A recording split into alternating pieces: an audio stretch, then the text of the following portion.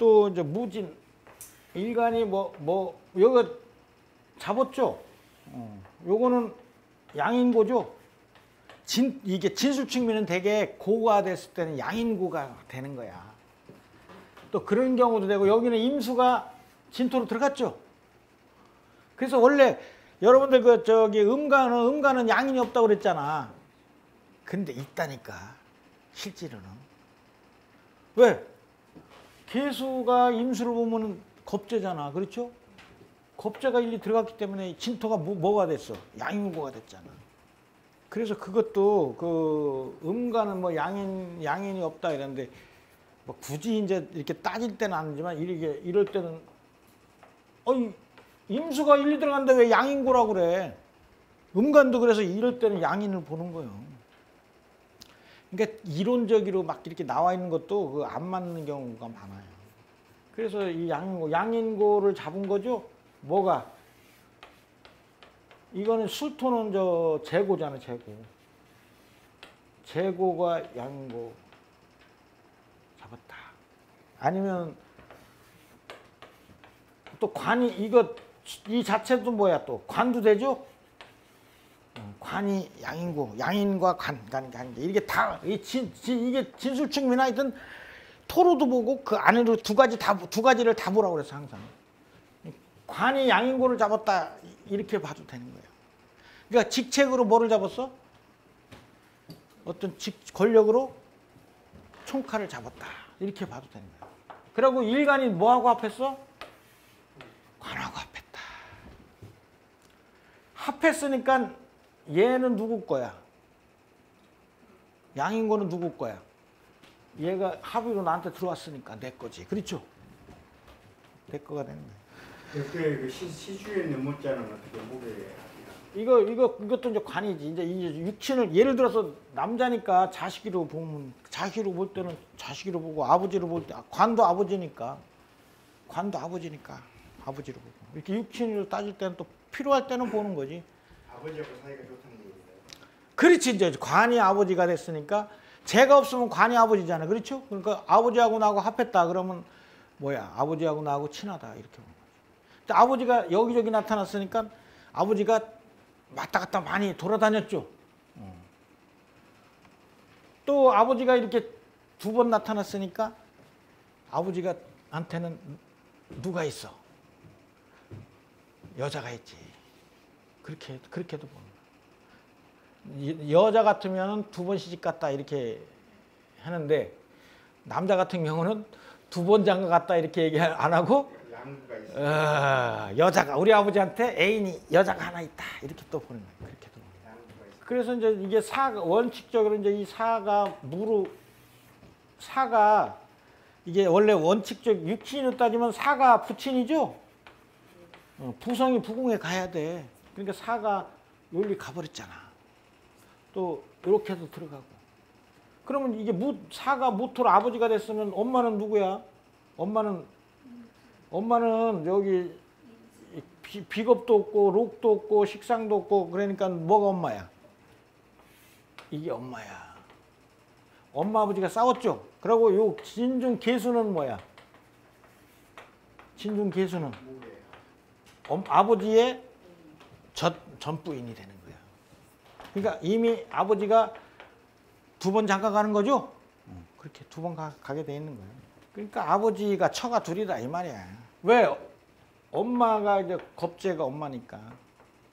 자기의 마누라는 거는 자기 마다는 이거지 사. 이건 제 일단 제잖아 제. 제가 부인이지. 자기 궁에 있는 게 우선이라고 그랬잖아. 얘도 부인이 될 수도 있어. 왜 사가 무로 변했으니까. 그러나 뭐가 우선이라고 그랬어 항상. 궁이 우선이야. 그래서 얘도 부인이 될 수 있는데 얘하고 얘하고 따져봤을 때는 자기 궁에 있는 사화가 지- 자기 마누라다. 같은 거 있을 때는 궁이 우선이라 했잖아. 궁. 성이 우선이 아니야. 궁. 그럼 식상과 관살에 식상 관살의 배치다.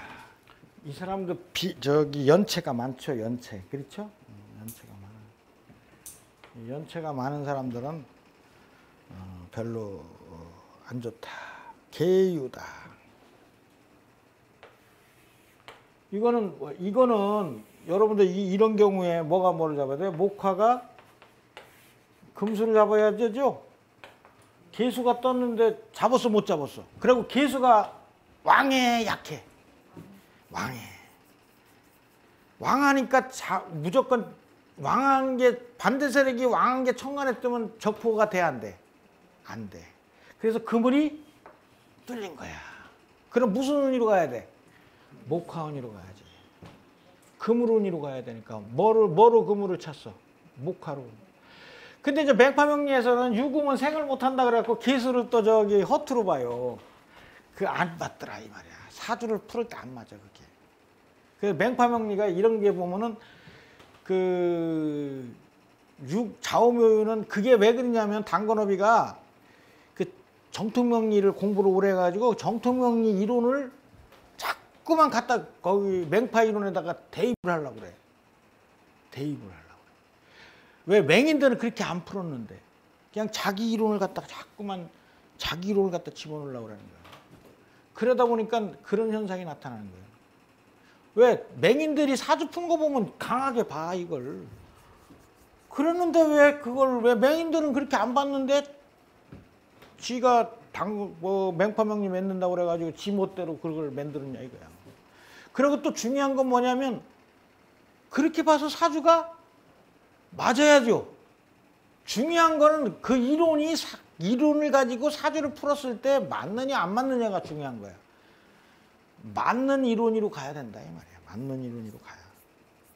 그래서 이제 사주를 풀을 때 이걸 강하게 봐야 봐가지고 이렇게 풀으니까 맞더라 이거야. 사주를 풀 때. 그게 이- 그래서 그 이론이 맞다 이 말이야. 그래갖고 이런 것 때문에 그 저기 어, 맹카 명리 공부한 분하고 왜냐하면 사주를 풀었는데 이렇게 이제 그 양반은 뭐냐면 사주 풀면서 어 개수는 약하기 때문에 이거 뭐저뭐 해가지고 이제 풀었어요. 그래갖고 풀었는데 아- 물어보니까 안 맞는 거예요. 그러니까 이제 이제 저한테 전화가 와. 아, 이 사주 좀 한번 풀어주시오. 우리 영 교수님 뭐 이것 좀 하나 풀어주세요. 내가 풀어줘요. 그럼 맞는 거예요. 그러니까 아니 맹파에서는 그러면서 아 형님 뭐 그 내가 수암명리대로 하지 왜 그 맹파를 자꾸만 따라 하십니까? 그러니까 아니 내 노트에 그렇게 적혀 있다는 거야. 적혀 있는데 그렇게 풀으니까 안 맞더라는 거야. 그러니까 자기 노트에 그렇게 적혀 있으면서 그렇게 풀어 그렇게 해서 풀어갔는데 안 맞더라 이거야. 내가 맞 내가 맞춰버리는 이걸 강한 강한 기술로 해서 풀으니까 맞으니까 어, 내가 한 건 맞고 거기 배운 노트에 적혀 있는 대로 하니까 안 맞더라 이 말이야. 그럼 어느 걸 쫓아가야 돼요? 실제 사주 맞는 이론을 쫓아가야 되잖아. 그렇죠? 어. 그런 것들이 많아. 아주 이런 것들이 많아요. 그래서 하여튼 제가 강의하는 대로 쫓아오세요. 그래서 이제 어, 이 사람은 재관을 사유 합으로 끌어들였죠. 이제 이게 제압 어떤 게 없을 때는 그냥 합충이로 보는 거야 자체 내에. 그러면 사유합의로 뭐야? 유금을 이렇게 끌어왔다는 얘기는 뭐를 끌어온 거야? 재관을 다 끌어온 거죠. 어. 재관을 끌어왔으니까 이 사람은 관을 나한테 끌어왔으니까 뭐야? 관하는 사람이지. 그렇죠. 관하는 사람. 관인을 다 끌- 나한테 끌어왔어. 그 대신 이제 그 관인을 나한테 끌어왔으니까 내 거다. 그러니까 뭐 하는 사람이야? 관하는 사람이다 이 말이야. 그런데 진운이 왔어. 진운이 오면 진유 합을 해줘. 그러면 여기서 무슨 일이 발생해? 토생, 금이 발생하죠. 그러면 유금이 왕해졌죠. 내가 여기서 유금을 내가 사주에서 내가 잡아먹어야 되는데 그놈이 운에서 강하게 오면 잡 내가 이겨져. 내가 지지. 그 다음에 진유합하면 무슨 육합에는 뭐가 일어나? 합 합반이 일어나잖아. 합반. 나중에 배워 합반이 일어나. 대운이 와서 여기 합을 하면 합반이 일어나 가지고 합반이 일어난다는 얘기는 자기의 성기를 잃어버려.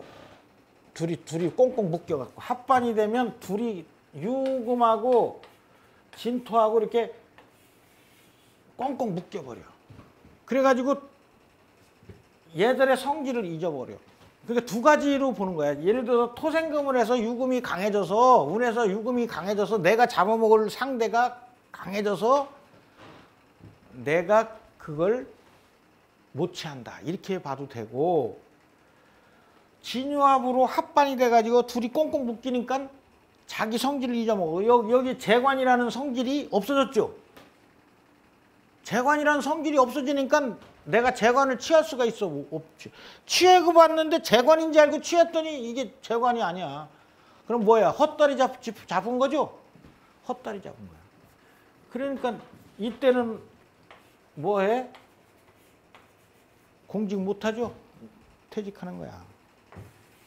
재관을 못 잡으니까 퇴직하는 거야. 이혼은 무슨 운이 좋다고 그랬어요? 지, 이, 이, 이걸로 봤을 때.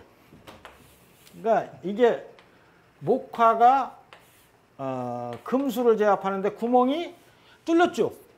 그러니까 무슨 운이 좋다고 그랬어? 목화운이 길하고.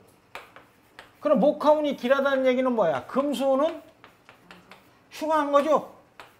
진운은 무슨 운이야? 금수운이죠.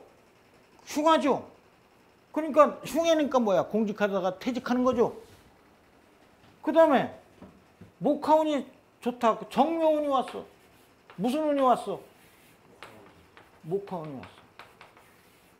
그리고 묘유충으로 또 재관을 잡아먹었죠. 그러니까 다시 퇴직했다가 다시 어떻게 돼?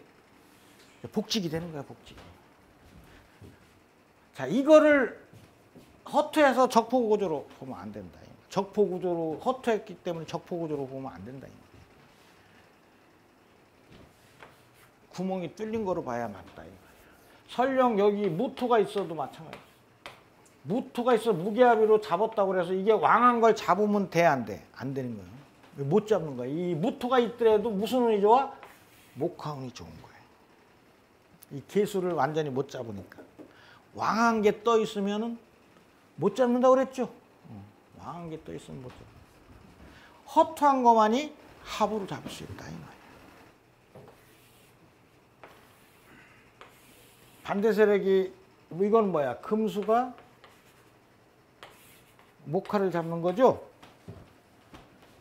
왜냐하면 월주가 월주가 자기 세력이 있잖아. 그리고 그런데 이제 반대 세력이 오인데 반대 세력이 뭐가 떠 있어?